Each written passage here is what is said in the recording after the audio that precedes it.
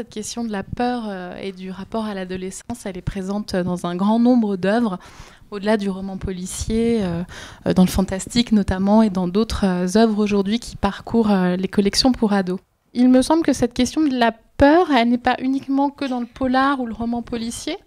Et on verra, c'est vrai que dans les premières collections dédiées, on avait vraiment un roman policier c'est aseptisé, euh, vraiment encadré. Donc on était vraiment dans cette idée d'encadrer, de, protéger la jeunesse. On ne parlait pas forcément euh, de crimes sanguinolents, de meurtres, etc. Donc ça, c'est tout un pan de l'histoire de la littérature jeunesse. Aujourd'hui, euh, la peur, elle est quasiment omniprésente, en tout cas dans un grand nombre de titres, dans des titres aussi qui viennent de la littérature fantastique. Donc ça, c'est aussi quelque chose de très important.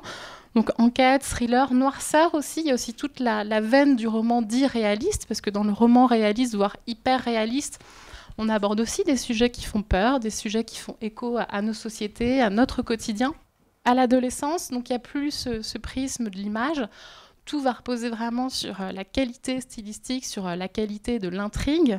Et du point de vue du lecteur, ce qui va importer, c'est vraiment la crédibilité euh, de la fiction, de l'énigme, il y a une expression anglo-saxonne qu'on entend beaucoup aujourd'hui, c'est la notion de page turner. Donc un livre page turner qu'on lit très rapidement, qu'on ne peut pas lâcher. Donc il y a vraiment cette idée d'une adrénaline, euh, d'être constamment en alerte quand on va lire un livre qui fait peur et qu'on ne veut pas lâcher euh, avant de connaître le dénouement. Euh, la plupart des romans adolescents de qualité et qui font peur s'inscrivent complètement euh, dans cette tradition de la mythologie, des contes qui sont revisités et qui sont adaptés avec des ingrédients supplémentaires pour faire peur. On a quand même aussi des contacts avec des classiques. Euh, je pense notamment à Edgar Allan Poe et ses histoires extraordinaires, et bien sûr le Horla de Maupassant. En tout cas, moi, c'est des titres qui me hantent encore aujourd'hui et qui ont su me faire peur. Revenons à la littérature de jeunesse et à quelques éléments, quelques points de repère, notamment sur euh, bah, cette énigme policière. Je pense à Alice Détective, au Club des Cinq. Ici, on a la figure de l'enfant détective. On s'inscrit aussi dans la lignée du roman d'aventure, très importante pour le lectorat adolescent. Pas de violence, pas de crimes sanguinolents. Et je voulais citer notamment euh, Marc Soriano, en 1965, spécialiste de littérature jeunesse, qui dressait un portrait sans concession de ses premières séries. Cette production est reconnaissable par sa tendance à l'artificiel. Platitude du style, soigneusement dépouillée de tout ce qui pourrait décourager un lecteur moyen, souci d'éviter toute question litigieuse, par exemple les problèmes religieux, politiques ou sociaux, qui pourraient éloigner une partie du public, donc restreindre la diffusion commerciale de l'ouvrage. La question de la loi euh, du 16 juillet 1949, donc elle est intéressante, cette loi, à notre époque, parce qu'il y a des collections qui ont été lancées euh, dans les années 2000 et qui ne sont plus assujetties à cette, loi. Alors c'est des choix singuliers, puisque ça veut dire quand même qu'on s'adresse à un lectorat adolescent, mais qu'on peut se permettre de ne plus passer dans le cadre de cette loi. On doit cette loi à l'abbé euh, Bethléem. Euh, donc cet abbé a vu arriver les comics anglo-saxons et selon lui, il fallait être très prudent. Donc il, avait dressé une liste des romans à lire et à prescrire. Euh, avec notamment des romans policiers également.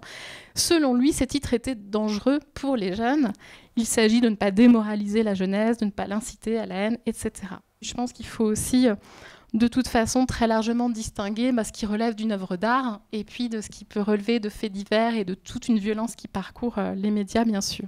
Alors je voulais revenir aussi bien sûr à des collections plus spécifiques et qui ont marqué le champ policier et le champ du polar pour adolescents avec notamment euh, chez Rajo Cascade Policier. Alors l'idée, c'était vraiment d'entrer en rupture avec ses premières collections, euh, Alice Détective, le Club des Cinq, d'aller dans des contenus plus documentés, plus littéraires, de faire appel aussi bien sûr à des auteurs français, à des plumes de qualité. Donc pour rappel, euh, notamment chez, dans la collection Souris Noire, on a eu Daninx, Polo, Marcus Malt, et puis bien sûr d'autres auteurs qui ont marqué cette, cette collection.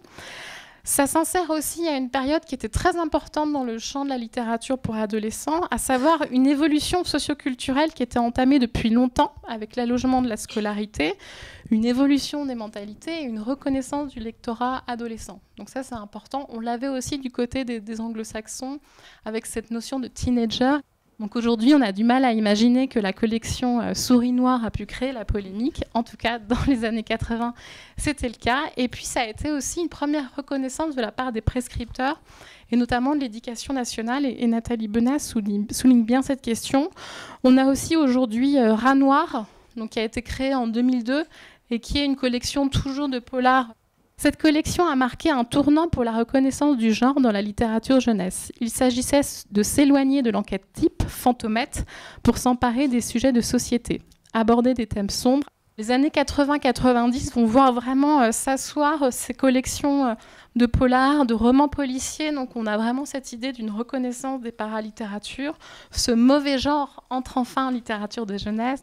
Et puis il y a un événement majeur que personne n'a oublié, je pense ici, deux événements majeurs qui sont assez proches.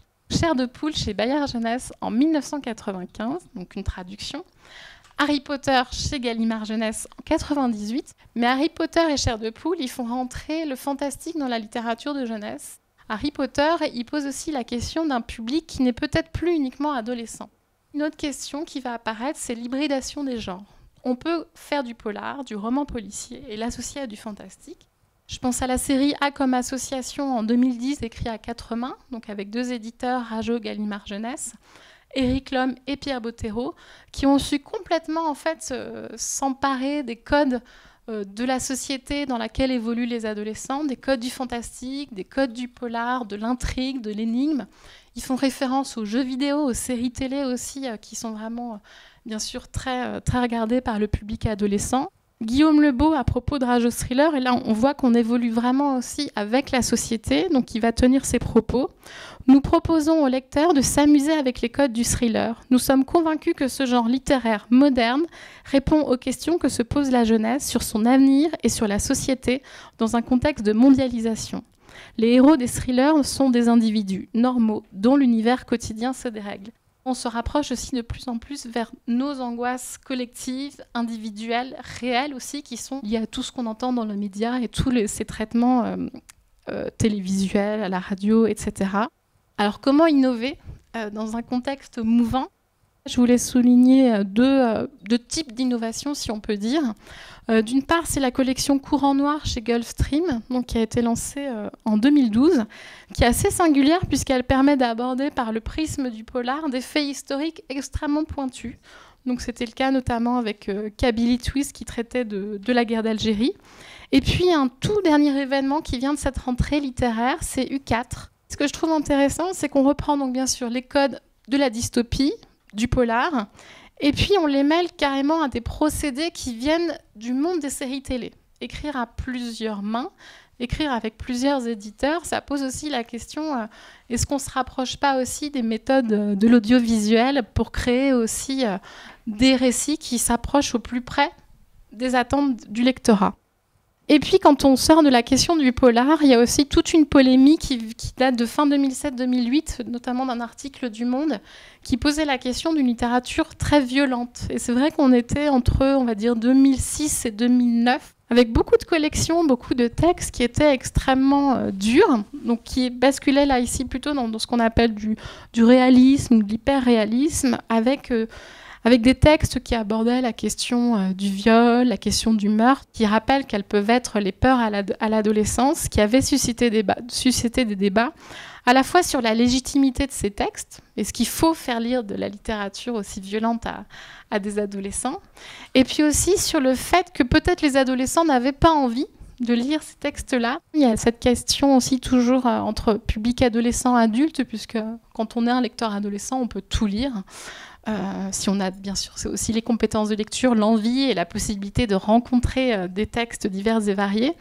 Du côté du polar, il y a un auteur comme Arlan Coben récemment qu'on a vu éditer dans deux éditions, donc à la fois au Fleuve Noir à destination des adultes et aussi dans la collection PKJ, donc Pocket Jeunesse. Une auteure qui est lue par les adolescents, c'est Fred Vargas. Et demain, je voulais là faire écho à un article très récent de, paru dans Télérama, donc de Cécile Muri, qui posait la question de films qui viennent de la littérature ado, jeunes adultes, notamment comme Hunger Games, Divergente, Le Labyrinthe, qui sont des séries dites de dystopie, d'un univers généralement post-apocalyptique avec des sociétés dans lesquelles les dictatures règnent et où des adolescents viennent se rebeller. C'est dehors, au-delà des murs, que rôdent nos pires notre plus grande culpabilité collective dans la vision spectaculaire, cinégénique d'une planète détruite par la pollution et l'incurie humaine, le futur commun de toutes les dystopies. Et c'est vrai qu'on a tendance à voir euh, dans la production euh, pour adolescents et jeunes adultes beaucoup de titres qui, jouent sur ces peurs-là, qui euh, posent la question de notre environnement, de l'écologie, la protection aussi des données. Il y a aussi toute cette recherche sur la question des peurs liées à la technologie. Je me suis posé la question de et demain, qu'est-ce qu'on va proposer à ce lectorat adolescent qui lui-même devient de plus en plus flou et qui tend à tirer vers un lectorat jeune adulte?